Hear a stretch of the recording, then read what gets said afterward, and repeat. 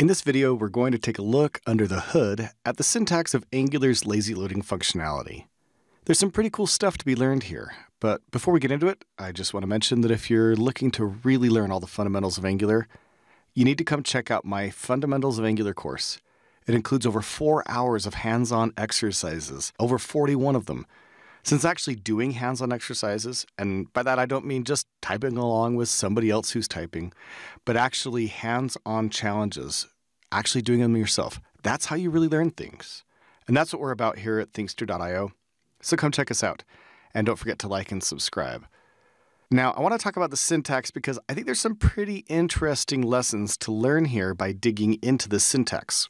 So what we're talking about here is on line 16. This is the meat and essence and core of how we do lazy loading in Angular. And this syntax has a lot of little pieces that I want to break into and look at.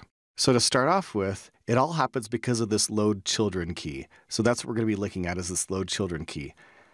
This takes in a function. We've got an arrow function here, and the function itself simply calls the import function. Now, the first piece of confusion might be that people can assume that the import function is actually part of Angular, and it's not. This import function is actually just a basic part of JavaScript.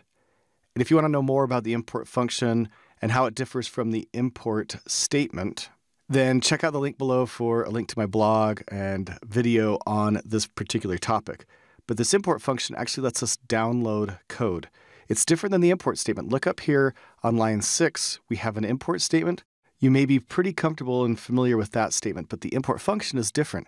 It dynamically downloads a piece of code. So when this code is executed, the browser will actually go out and download the code that's referenced. The import statement takes this one parameter, a path, to the file that we want to download. In this case, the file is a bundle. Angular, when it builds, is actually going to build up a big module file that includes the module we want to lazy load and any of the pieces of the module that wouldn't already have been downloaded in the basic initial download for the application. So that's what is going to be downloaded. And probably the number one place where you might mm, get something wrong and make a mistake is really just in the path to the module. And just knowing that it's relative to the app directory of your application is the key here. So after we feed that path into the import statement, JavaScript's going to download this bundle file with the entire module in it. And then the import function actually returns a promise. And that's what we see here on the next part of line 16 is we are waiting for the promise to resolve. And then we want to do something with the downloaded code. And that's how the import function works. It downloads something, then the promise resolves, and you can get a handle to the code that was downloaded and do something with it. Here in Angular, what we're doing is we're calling m.watchlist module. That's the name of the module that's getting downloaded. So the code bundle, this module bundle that's being downloaded, actually has a property that is the module itself. Now, due to how we've written the arrow function inside of the then function, what's happening is the module is actually being returned out from the promise. You'll understand this if you understand about how implicit returns work with arrow functions. Essentially, what's going on here is this is the same as if we were to write this code like this. If we were to put curly braces around this function, and let's give this a little bit more formatting so it looks a little bit more like an actual function. If we put curly braces around this, we've now broken this. What actually happens is we've got a return statement here. By not putting in the curly braces, we have an implicit return. That's how arrow functions work. So this code and the original code, let's go back to our original code here, without the curly braces, that's the same thing. So it's like putting in return m.watchlist module, although that gives us an error if we actually try to do that.